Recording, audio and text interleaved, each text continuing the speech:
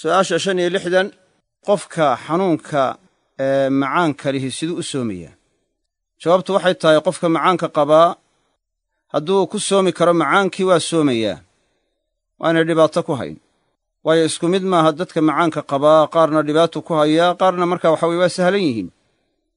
Marka kuwa uu khafiifka ku yahay ee soomi karaya ee aanu dhibaato ku keenayn waa soomayaan macaan buu qabaana markaa uma afurayo haddaanu mar dhibaato ku hayn ziyaado ah uma afurayo hadday dhacdo maalmaha qaarkood inuu awoodi kari waayo ama ay dhibaato ku noqoto culays ay ku tahay ee xaalka caynkaasa waa afurayaa maalmahaas dabeedna dib buu ka qallaynaya hadduu yahay nooca macaanka aan laga soomi karayn oo qofku cuntada ka qadi karayn saacado yar aanu ka maarmi karayn.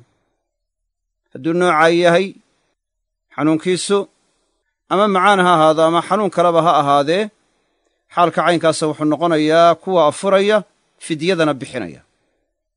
Waxay haleelayaan odaygii gaboobay iyo islaantii gaboobay aan soomi karaynin kuwaasuu haleelayaa waa xanuun markaa joogta ah sida loo bartay qofkiina aanu ka soomi karayn. Yacnii inuu soonkii marka hore la yimaado iyo inuu dib ka qalleeyo midnaba aan markaa la filaynin laguna rajo badnayn inuu ka bogsado. Mar hadday caynkaa tahay wuxuu samaynayaa waa afurayaa maalin kastabana miskiin buu quudinayaa. Maalin kasta miskiin ayuu quudinayaa. Sidaasaana soonku kaga dhacaya. Wa cala aladiina yutiiquunahu fidyatun طacaamu miskiin.